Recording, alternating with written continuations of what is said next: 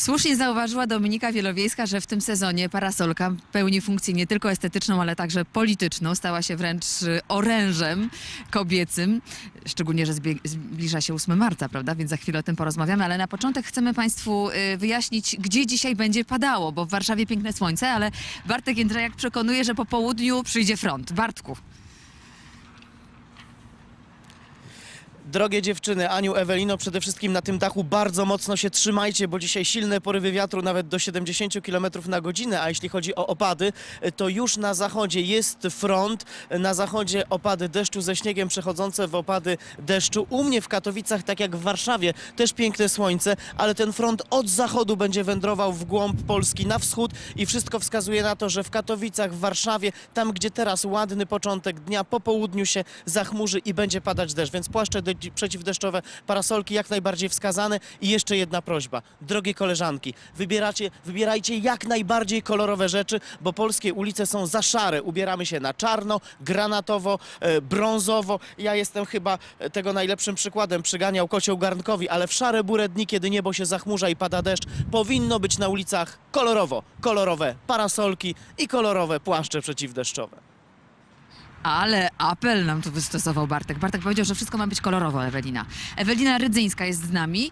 Witam cię, Ewelinko. A Witam, tutaj Aniu. nie powiedziałabym, że tak bardzo kolorowo, No prawda? właśnie, nie, nie jest kolorowo. Mm, e, Tak wiesz, przygotowując dzisiejszą zapowiedź, to pomyślałam sobie, że e, zacytuję słowa Freda Astera i deszczową piosenkę, a wychodzi nam tyle słońca w całym mieście Anny Jantar. Ale wracając do kolorów, e, to postanowiłam jednak te stylizacje bardzo zróżnicować i jednak postawić na monochromatyczne zestawienia za wyjątkiem jednej stylizacji, stylizacji stricte sportowej. To jest ta pierwsza. E, rozumiem, tak? właśnie ta pierwsza stylizacja granatowa jest e, stylizacją klasyczną, dedykowaną dla kobiet, które cenią sobie jednak takie tradycyjne, bardzo eleganckie i stonowane rozwiązania. Granatowy kolor, biała koszula, chustka zawiązana e, w stylu gawroszki, do tego kalosze tuż przed e, kostkę i fioletowa, duża parasolka. Taki outfit, który dosyć często spotykamy na warszawskich ulicach, e, bo takie stylizacje cieszą się powodzeniem. Są kobiety, No i pogoda niepewna. i pogoda niepewna i właśnie trzeba też zaznaczyć, że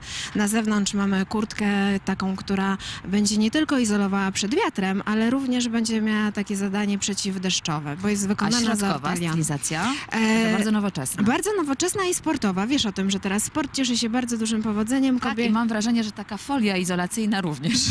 To nie jest ją na salonach No, no właśnie, wielu projektantów, nawet takich naszych rodzimych, w tym sezonie postawiło na nie tylko mocne kolory, ale właśnie e, takie rozwiązania tkaninowe. I tutaj mamy właśnie kurtkę wykonaną z ortelionu w srebrnym kolorze, z dużą aplikacją na plecach, ale zestawienie też kolorów e, dosyć kontrastowe. E, zupełnie odwrotnie niż w naszej pierwszej stylizacji, gdzie postawiłyśmy na elegancję, to tutaj mamy ostry neonowy kolor w zestawieniu srebrną, ze srebrną taką parką, do tego czarne spodnie od dresu, no i obowiązkowo srebrne adidasy przed kostkę, które też będą się cieszyły dużym powodzeniem. W ogóle dużo jest teraz takich miejskich stylizacji, gdzie nawet kobiety w takich klasycznych e, stylizacjach wykorzystują sportowe obuwie.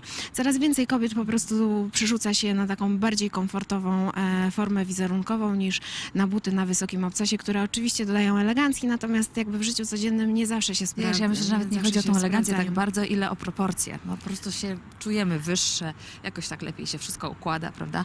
Ale faktycznie w butach jest zdecydowanie wygodniej. Zdecydowanie Takich jak ta. wygodniej. I tutaj właśnie to była taka stylizacja dedykow- dedykowana dla kobiet, które lubią codzienność i też uprawiają taki aktywny, mają taki aktywny styl życia.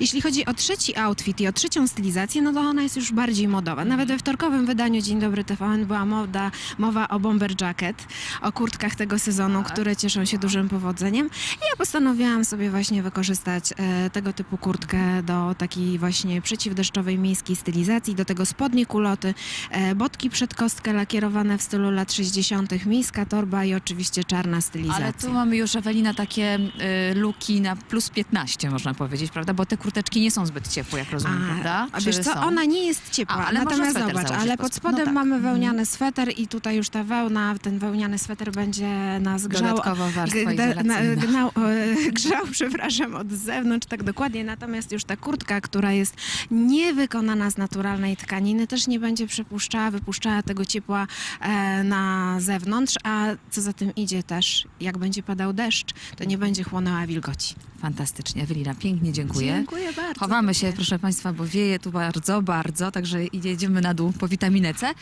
i, I życzymy się po słońca. przerwie. Tak, oby jak najwięcej.